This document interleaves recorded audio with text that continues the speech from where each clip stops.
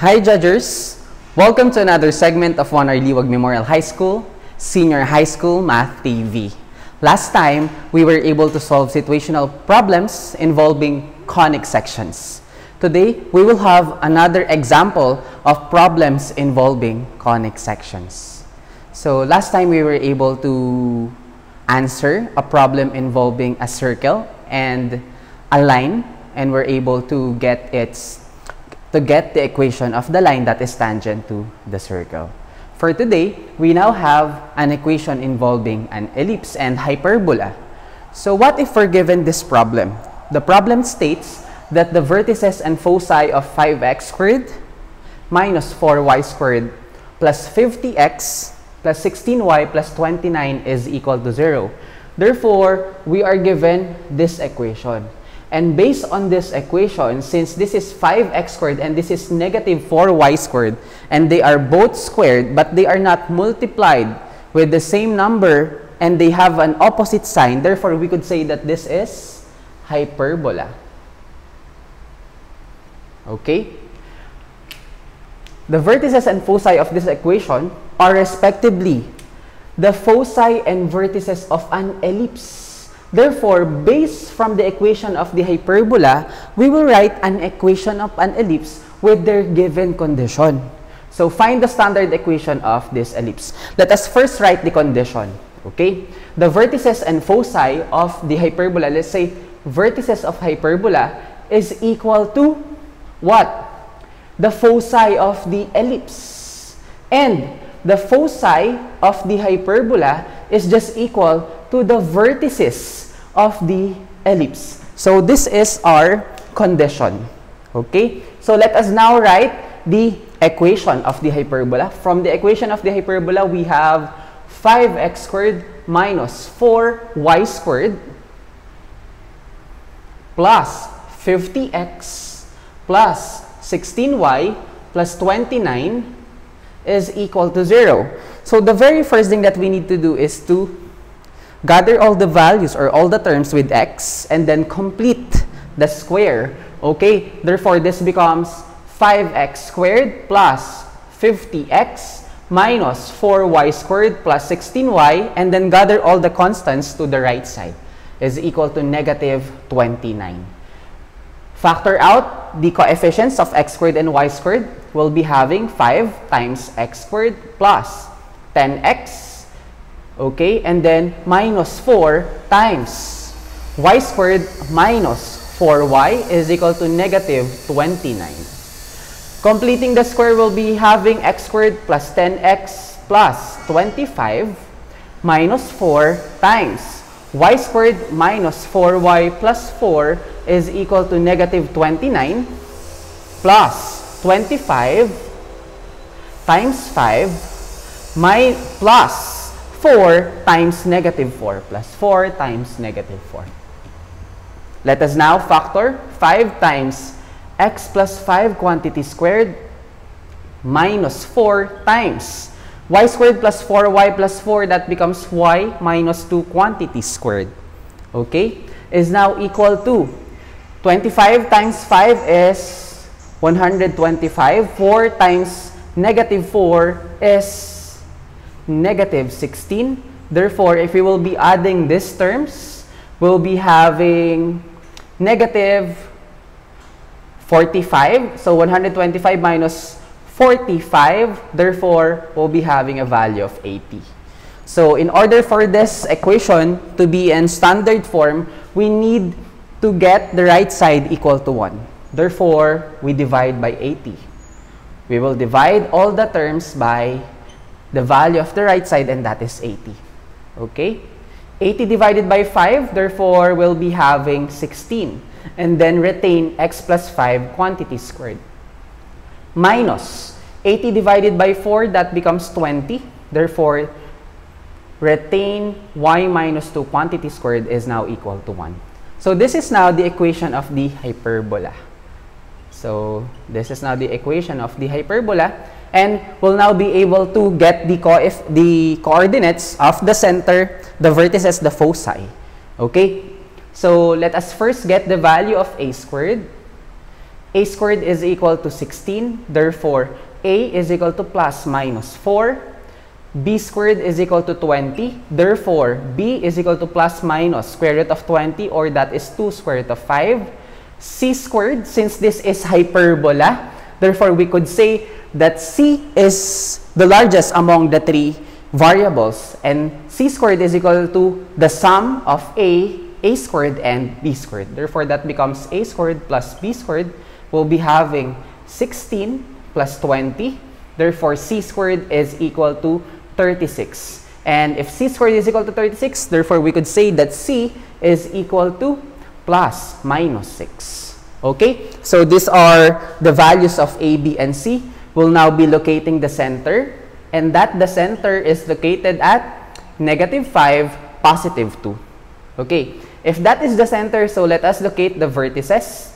Okay, for the vertices, if this is hyperbola, let us first identify the transverse axis. And since this is the positive side, we could say that it comes with x. And in that case, therefore, this is transverse axis x or transverse axis horizontal. If this is transverse axis horizontal, therefore, we will change the x-coordinate of the center to get the values of the vertices and the foci. Okay, therefore, this becomes h plus minus a k. In this case, vert vertices will be located at our h is negative 5 plus minus our a is 4, our k is 2. Therefore, v1 is located at negative 5 plus 4, that is negative 1, 2 and our V2 is located at negative 5 minus 4, negative 9, 2. Okay, for the foci, okay, for the foci, that is H plus minus C, okay, therefore, F should be negative 5 plus minus 6, K. F1 now would be negative 5 plus 6, that is positive 1. Our K is 2, therefore that is 1, 2. Our F2 would be negative 5 minus 6, which is negative 11, 2. Okay, that is now our F1 and F2 for the hyperbola. So these are for hyperbola. How about for the ellipse? Again, I will write the condition.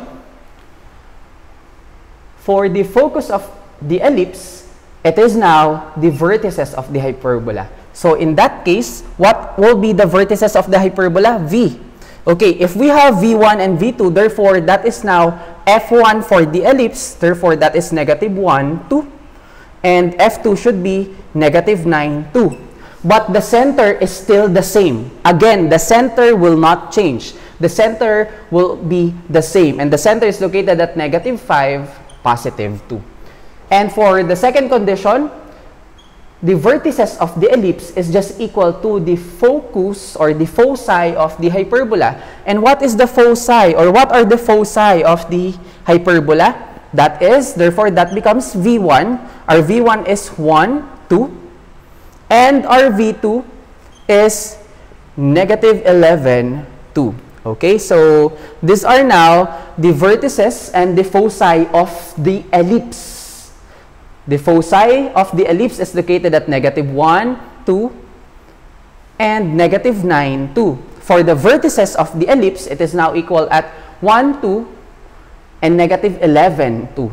Okay? So in this case, we could say that the ellipse is major, will contain major horizontal axis. And since this is major horizontal axis, therefore, A now is the largest among the three values. Okay, where do we get A? From the vertices. Okay, from the center going to the vertices. Therefore, we could finally say that they just interchange. The value of A squared and C squared just interchange. Therefore, for this A squared now, or we say that is A of the ellipse, A squared is equal to, okay, let's just get A. Okay, for the A of the ellipse, from the vertices going to the center, this is negative 5, this is 1. Therefore, their distance is 6 just like the C of the hyperbola because we just interchange their values. Okay? Therefore, if AE is equal to 6, therefore AE squared is equal to 36. This is plus minus 6. How about for C? Since we are given foci, negative 5 to negative 1, their distance should be 4, right? Therefore, the C now of the ellipse is plus minus 4. And it is just the same as the AH or the A of the hyperbola. What is the A of the hyperbola? Plus minus 4. Therefore, the C, the C squared now of the ellipse is equal to 16. And if we are getting the value of b squared, always remember that this is an equation of an ellipse. And for the ellipse, since this is the graph of an ellipse, these are the vertices, v, v1, and v2. Therefore, from the center, this is a, this is also a. a is the largest. We could say that a squared is equal to the sum of c squared and b squared. Therefore, b squared is equal to a squared minus c squared. And that becomes 36 minus 16. Therefore, b squared is equal to 20. We now have b squared, we now have a squared. Therefore, we could now write the equation of the ellipse.